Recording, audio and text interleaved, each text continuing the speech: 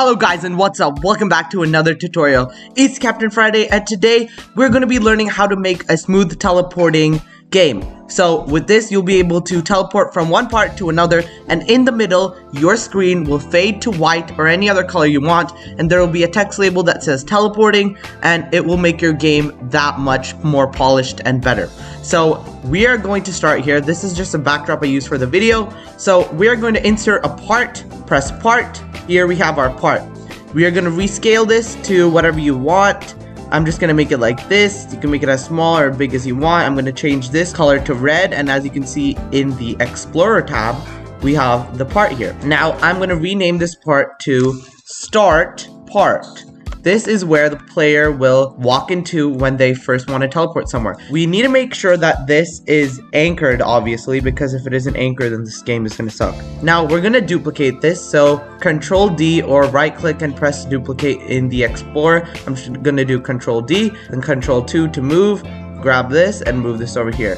Just so that we can differentiate these parts, I'm going to change this to turquoise. I'm going to name this part to end part. Now, essentially, you can move these parts wherever you want in your workspace. You can move the end part to all the way over there, anywhere in your game that you're creating. You can move your start part to anywhere you want, but for now, for simplicity, we're just going to keep these parts right next to each other. Now, we're going to insert a script in the start part. We're going to name the script to touched. I'm going to delete print hello world and I'm going to make a variable that references this part. Local start part equals script.parent. So that is our start part in the workspace. We need to detect when this part is touched by anything. So start part dot touched colon connect function hit.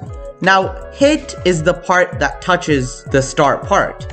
This is the start part. So any part that touches it. We need to make sure that the part that touches the start part is a part of a character that is a player. So for example, this base plate could be the part that's touching the start part, and we don't want it to get confused making the base plate a player. So we're gonna see if hit dot parent colon find first child humanoid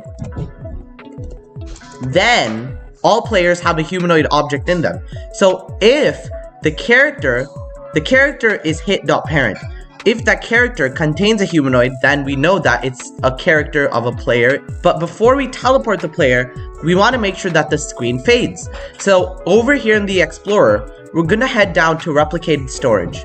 And then we're going to insert a remote event. A remote event allows the server, which in this case will be the script, to communicate with the client. So when it communicates with the client, you, the client, will open up the fade screen UI and we'll fade it with tween service. So we're going to rename this remote event to show transition. And back in our touch script, we're going to do game.replicated storage dot show transition colon fire client so let's just define our player here local player equals game dot players colon get player from character and then we know that the character is hit dot parent game.replicated storage dot show transition colon fire client. And we need to make sure that we define the player that we're firing. Player. This is the parameter that we're sending. We're sending the player that has hit the part. We need to make sure that the player actually gets there. Now we're gonna do task.wait 0.5 seconds. 0.5 seconds is the amount of time it will take our screen to fade to white. When it fades to white we're going to move this player's character position to this end part. Local character equals player dot character. So now we're going to do character dot humanoid root part dot c frame equals game dot workspace dot end part dot c frame. It will wait 0.5 seconds when the player has touched the part and will move the player's character's position to the position of the end part. So this might have been a little boring. Let's get to the fun part where we design our user interface. Head down to Starter GUI and insert a Screen GUI. Rename the Screen GUI to Transition. And inside of this, we're going to add a frame. This frame will be the screen that fades to white. I'm going to resize this so that it fits the entire screen. I'm going to go to properties so that's easier. I'm going to go down to size and I'm just going to enter 1, comma 0, comma 1, comma 0. This will fill the entire screen. The next part that I'm going to do is really important. Go to the screen GUI and make sure that ignore GUI inset is set to true. This will make sure that the gap that is usually here by default is closed in and will fill your entire screen. Rename this frame to fade. Inside of this frame, I'm going to add a text label. This text label will contain anything you want the player to see. I'm going to select text scaled and I'm going to set background transparency to 1 of the text label. Now, with my mouse cursor, I can scale this to whatever I want. I'm going to position this dead smack in the center. I'm going to font face, and I wanted to change this to Fredoka 1, a more friendly font. Now I'm going to double click on this and change the text to teleporting dot dot dot. I'm going to change the text color 3 to this bluish color, and I'm going to add a UI stroke just for fun. UI stroke right there. I'm going to set the thickness to 2 and I'm going to select a navy bluish color. I'm going to set the visibility of this text label to false. I'm going to rename this text to teleport text. So now we're going to work with this screen. We're going to insert a local script, rename this to transition. Now if we head back over to our touch script, we can see that we fire this client and we need to receive it on the client side. So I'm going to delete this. I'm going to define the remote event that is fired. So local remote event equals game.replicated transition. Now we're going to detect when this is fired. Remote event dot on client event colon connect function. Drop a line. And now we are going to smoothly fade this in. Before we fade this in, we need to change the background transparency to 1. That's going to be the default when a player enters. And in this transition, we're going to make a new tween. Local tween service equals game colon get service tween service. Local tween info equals tween info dot new. Now this is where we put in the info about our animation or tween. So how long do you want it to take for the screen to fade? Since we're already waiting 0.5 seconds here to teleport the player, we're going to just wait 0.5 seconds. 0.5, comma, easing style. So if you don't know what easing styles are, I have a link in the description down below with the different easing styles that Roblox provides us with to animate our UI or parts. So I'm just going to use the default Sine, enum.easingstyle.Sine, comma, enum.easingdirection.inout, which is what I usually use. And that's basically it for our tween info. We're going to create the tween that fades the screen in. Local fade in equals tween service, which is a variable we define to get the tween service, colon create. So in this case, we are tweening the fade screen. I'm going to put script.parent, which is the frame, comma, tween info, which we already defined here, tween info, comma, property table. Now in this property table, we're defining what property of the frame that we're animating. In this case, it's a background transparency.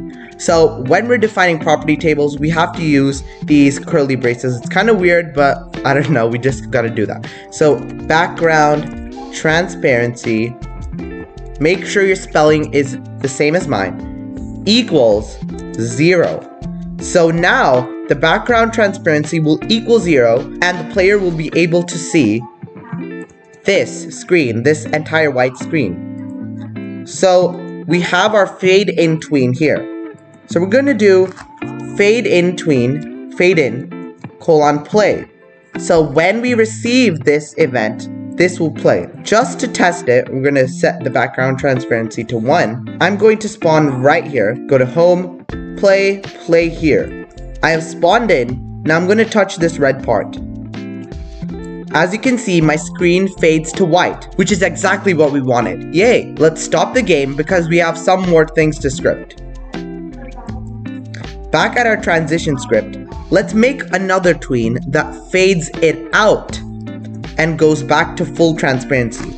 Local fade out equals So we don't have to rewrite it all. We can just copy this line, Control C, Control V, and fade out tween will have the background transparency at 1 so that this frame is completely invisible. So we fade in when we receive this remote event. Now we're gonna wait one second so the player can register that they're about to teleport somewhere. So task.wait.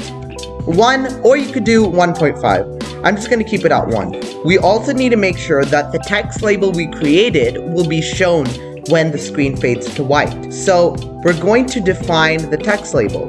Local text label equals script.parent dot teleport text.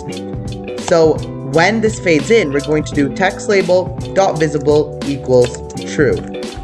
And as you can see, if we set the visibility of this text label to true, we will be able to see this UI. And I'm just going to set this to invisible. As you can see, the text label will be visible. We're going to wait one second so that the player can see this text label visible, and then drop a line.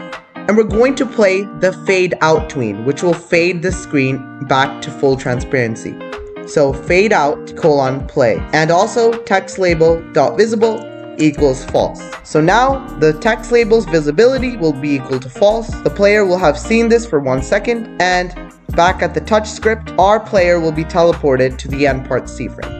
So if all of this has worked, let's test it out in the game. I'm going to set the transparency of the fade frame to 1 as default. Make sure that the visibility of this frame is set to true. Now let's try the game. And now I'm going to head over to the star part, which is a red part. Everything should be working smoothly. So there we go. As you can see, it worked. We saw the teleporting UI, which I think could have stayed for a little bit longer, but it worked all in all. As you can see, teleporting, and we get sent back here. I'm going to pause this game and go back to the transition script. I want this to stay a little bit longer to about 3 seconds. So now if we play the game, we'll be able to see the teleport UI longer. As you can see, when I touch this part, it'll show teleporting, wait 3 seconds, and teleport back. And here we are at our second part. Make sure you don't have any typos or any other mistakes or this won't work. We have the touch script here and the transition script. Those are the only two scripts that we need. And if you don't want the player to see this part, you can set its transparency to 1 and you can set can collide to false. You can move these parts wherever you want in your game if you want a player to start here and then teleport to another world. You can move it all the way there, anywhere you'd like. Thank you for watching this video. I hope you enjoyed it. I have links to the paste bin down below. If you have any questions or concerns, just drop a comment Thanks for watching, subscribe, like, share, see you later.